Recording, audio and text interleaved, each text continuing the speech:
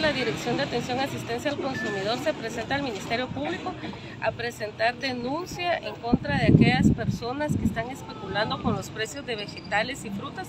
específicamente productos que se dieron al alza sin justificación alguna en las en a finales de junio, principios de julio, productos como el tomate, la cebolla, la papa, el whisky, el repollo y frutas como el aguacate. La sanción que estamos pidiendo es una pena de prisión de tres años y la multa máxima de 3.000 quetzales. A la vez estamos solicitando que se pida un informe a la Superintendencia de Administración Tributaria con la finalidad de perseguirlos por delitos fiscales y tributarios. Un informe que se está solicitando que se pida también al Instituto Nacional de Cooperativas por aquellas cooperativas que estén también posiblemente incurriendo en estos delitos. Un informe al MAGA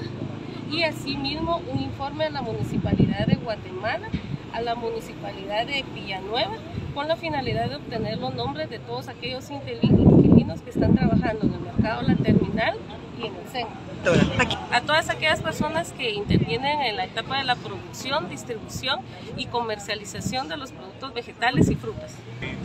De hecho, con la presentación de la denuncia se está solicitando que sea el Ministerio Público quien solicite el informe y que se procesen a las personas que están especulando y que pueden cometer delitos de tributarios.